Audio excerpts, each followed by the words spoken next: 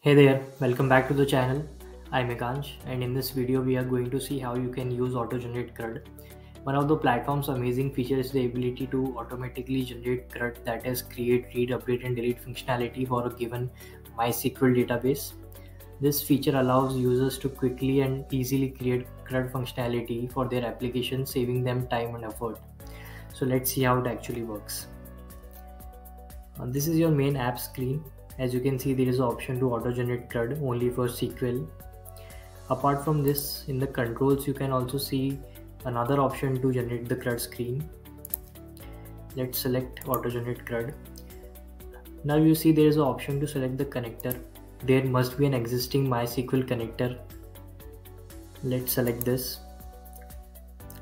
Now it asks you to select a table on which you want to perform the CRUD operation now you can see multiple operations are displayed here. View insert update delete.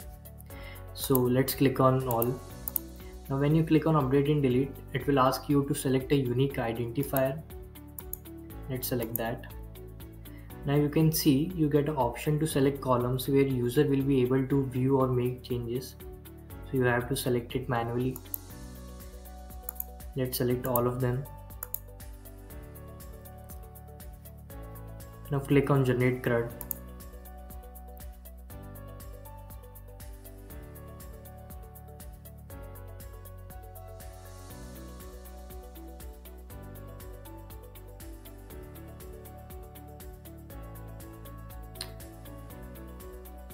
Now you can see a editable table grid has been created with the database.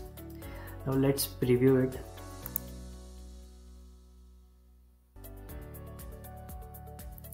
Now let's say we have to change the department from finance to management.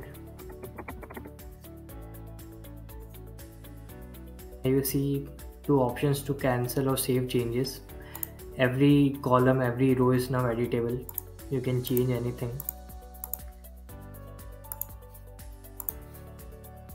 Once you click on save changes you can see the toast here.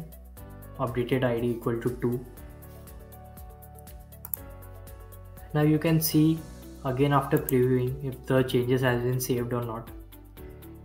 You can see that id number 2 has been changed to management. Thank you so much for watching